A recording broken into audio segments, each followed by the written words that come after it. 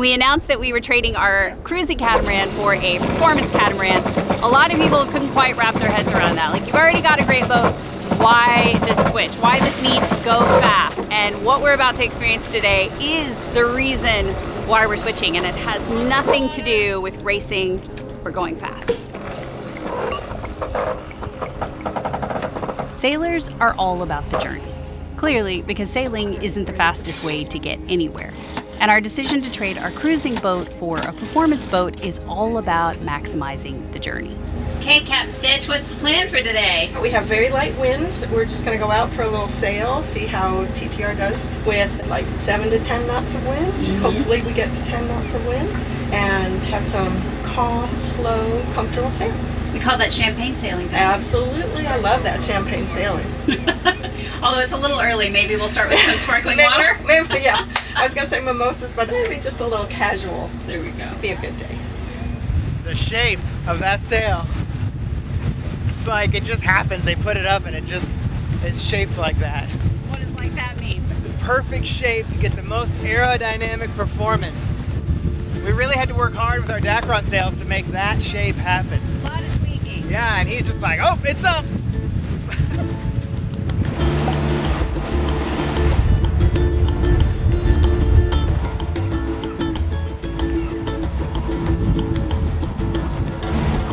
Be on starboard tack. Our port side sheet's going to be our working sheet. We'll be at about 100 degrees. We have 9 knots of breeze. And we're going to have a great sail. Hell yeah! All right, I'm backing up. Okay. Jason, watch that line behind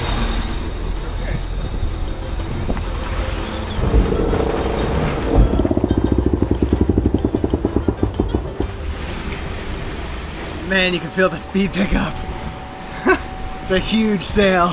In fact, I'm gonna go ultra wide so you can try and see it all. This is the one thing we never do as cruisers go sailing for the sake of sailing. Because there's typically a dive, a surf, or the call of another island motivating the move. But today's motivation is a test sail to see all points of sail and find out how many sails does it take to cruise around the world. If you ask a sailmaker, it's all of them. but if you ask these always cherry pick your weather window cruisers, it's all about taking advantage of these light wind days. Woohoo! Ow! Here we go. Fancy hands, three sails. Woohoo! Look, makes us look like we know what we're doing.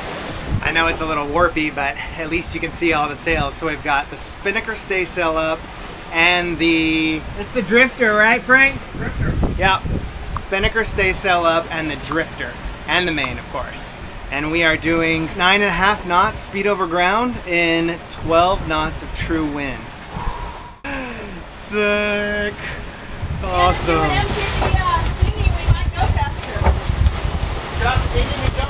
Your wish is my every command. Oh Okay. my god! How many knots of speed are we gonna get here? I don't know, but it's got a ton of water in it. Whoa!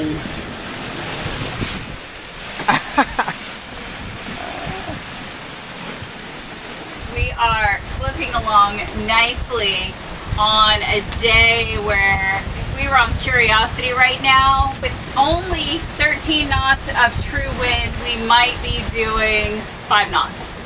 I would say that that would probably be so I mean we're doing four knots faster than that. That's almost double the speed. That is significantly different. I mean, when you're talking about a short sail, that could mean you can get there hours earlier. If you're talking about a long sail, you're talking about days earlier. We woke up this morning and there was between four and seven knots of wind, and we are still going to come out, and it could drop down, but this boat will still move. Curiosity, forget about it. We're now motoring at that point. We didn't have at least 10 knots of wind, we're not sailing. So, this this is what it's about. Maximizing your sail time, minimizing motoring time. That is what a performance boat to me means.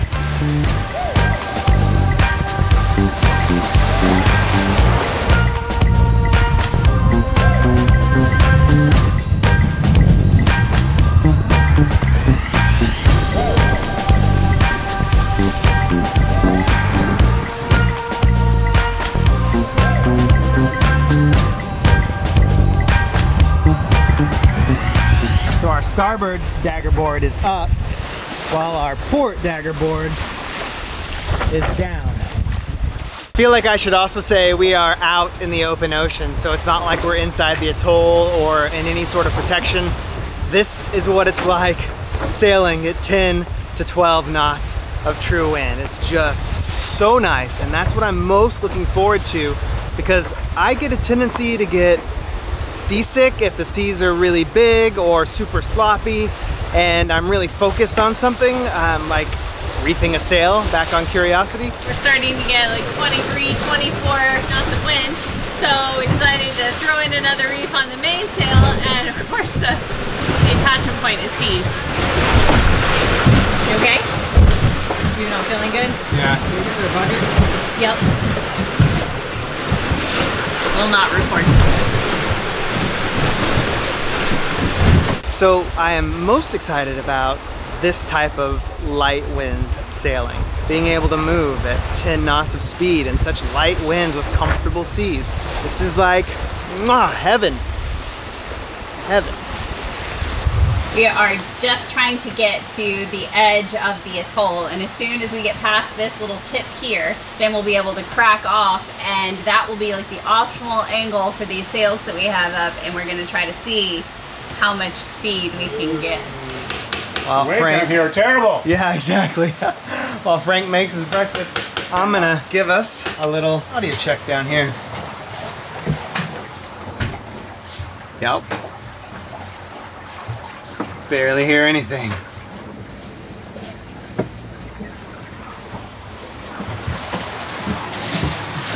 Forward. Our messy equipment room. This is the forward starboard side. And the head.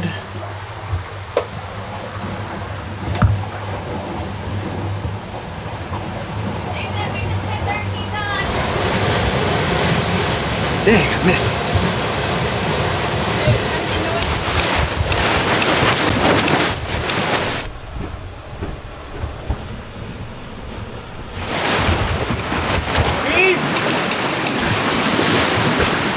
Just like that. There she goes. She's off and away. We are wrapping up the uh, Staysail Spinnaker and the Drifter. I'll explain in a minute. Here it goes.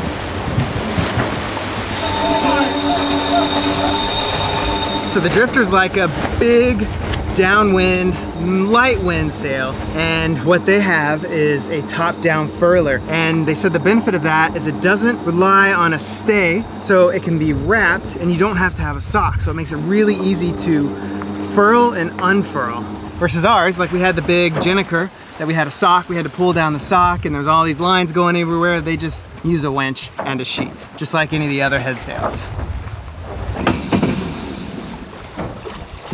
All right, Miss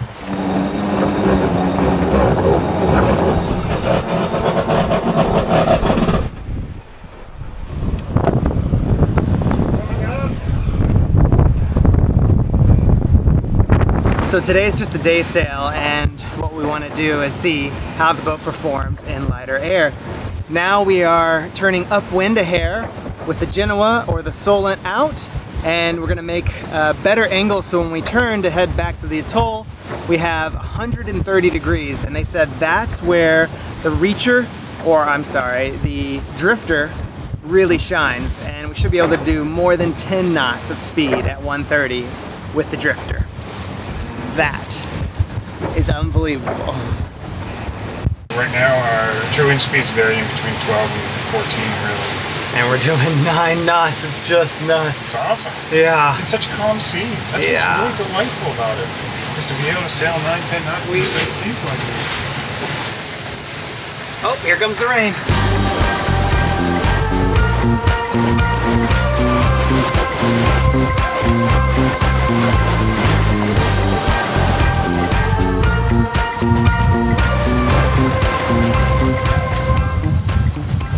thought I should come in to the galley and show you the 360 degree view that you get even when you're inside.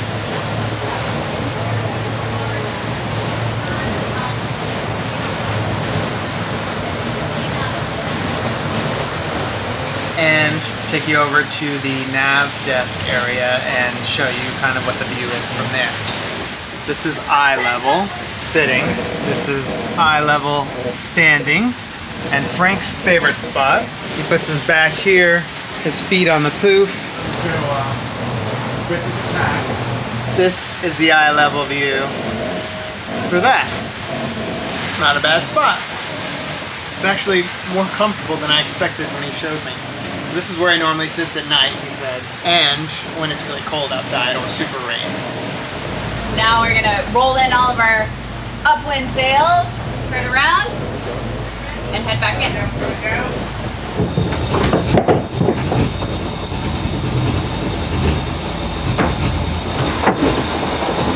Oh, good. Okay.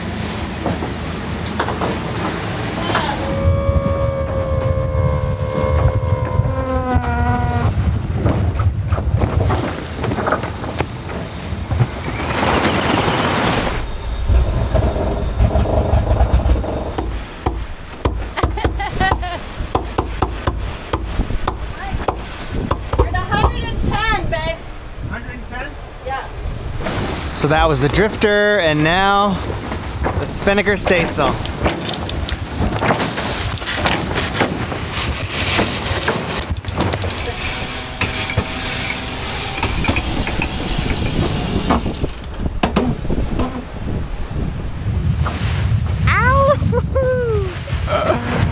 Yeah!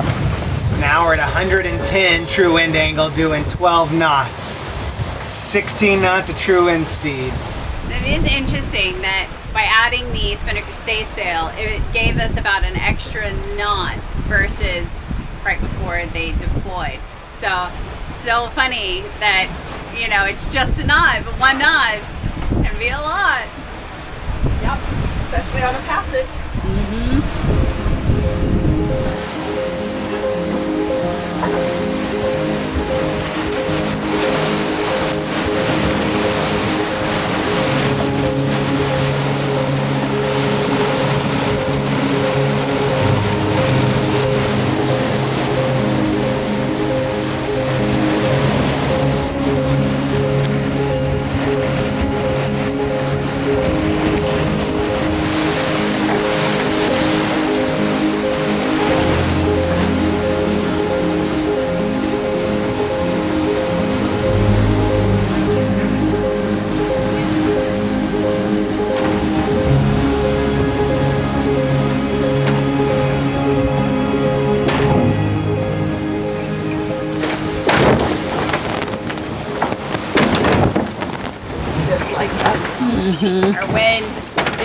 Slowly dropping down and the angle just keeps getting deeper and deeper. So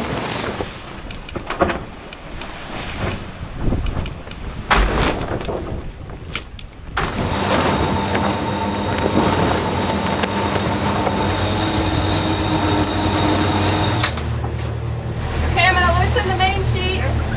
Yep.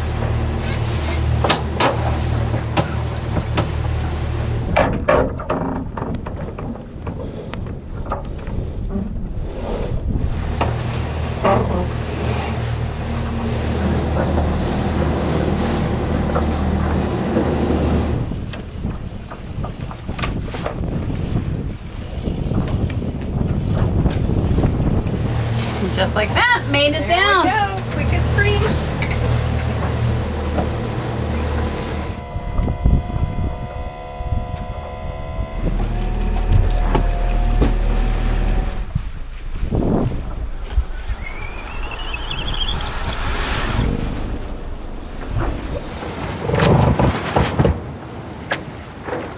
This is 160.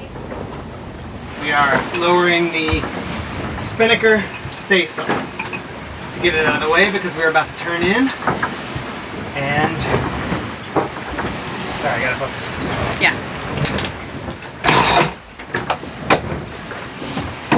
Ready? Because we're about to turn in and we just put the mainsail away and then we will sail in on Drifter alone. that line a little bit better. Don't judge me.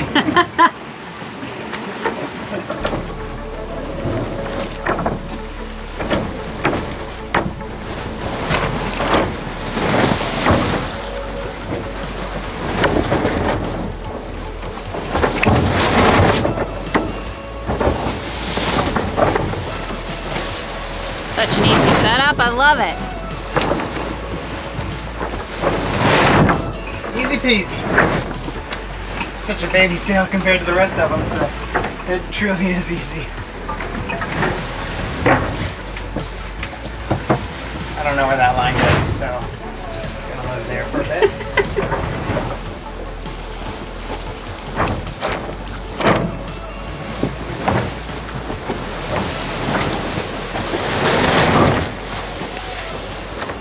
Boat speed is dropped to about four and a half because our wind speed is dropped to about eight and a half. So we're kind of just bobbing around on the drifter alone, but that's also because we have got to go into the pass. So this is kind of just, kind you know, you just, you move slow. And trust me, four and a half knots is creeping On this boat. on this boat.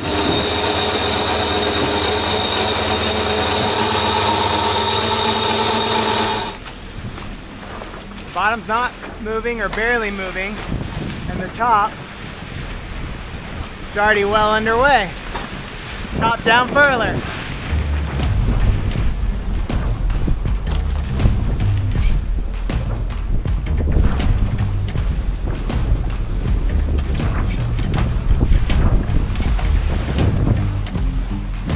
It's a very turbulent pass. Holy cow, it looks insane, and I've got control of the helm.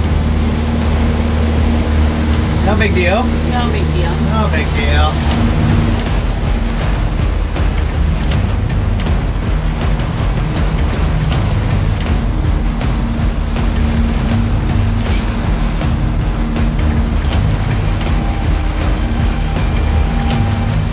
Easy. What's it feel like? Can you feel the current? Oh, for sure. It sort of pushes my butt around just a little bit, and then tries to drive me fast and then slow me down. But it's really actually pretty easy to handle. I don't know if that's just the steering, or just the size of the boat, or what. Um, I, I didn't. I was too tight. Can you go ahead and show me that how how it pushes your butt around thing again? Pushing my butt around like this. It sort of pushes me around. But we're almost we're through the worst of it. No.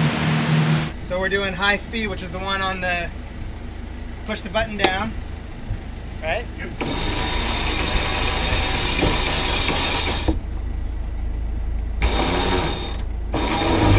We've only got about seven knots of wind, and we're going about four and a half knots of boat speed. But because we're inside the lagoon now, it just it's such lazy sailing. I love it. It's so calm. It it mean just makes you want to lay in the sun and take a nap or something. I don't know. Except for all those storm clouds. Right, right back there. I could do without those. But you can't win them all. Take your position. Yep. Downwind. Let- Drinking a little local beer. Sipping a fat boy. Ah. Champagne sailing. Inside an atoll. No waves. Well, that would it be champagne sailing if you're drinking a beer? I'd have champagne if we had champagne.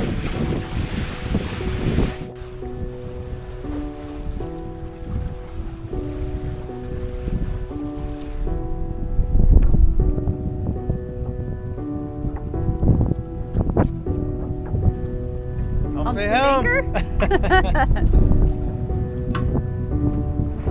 Sure. You're welcome. Man overboard. Lost the headset. Oh, my pants are still on the on the front. Oh, did you tell where you put Yeah. them? Okay, we'll go right up and see if they're there. While Frank was putting on the chain floats, the drifter sheet perfectly grabbed the headset and launched it into the water. Naturally, I jumped in to save it. I'm assuming these are waterproof. No, I don't think so. Oh no. Success on the pants. That's good. We'll find out on the Oh, I don't know. still blue. Oh, she turned it off. Okay, well, we'll see what happens. Never a dull moment. No, how ridiculous. It's pretty windy and rainy. Yeah. A lot going on up there. Yeah, here just in time. He assumed he was wet, so he was going in anyway, but kind of cold.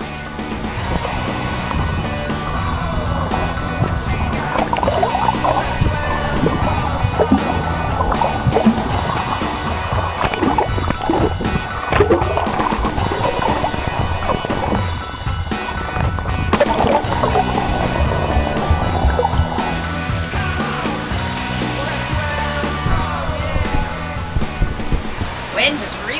up. He's swimming the anchor.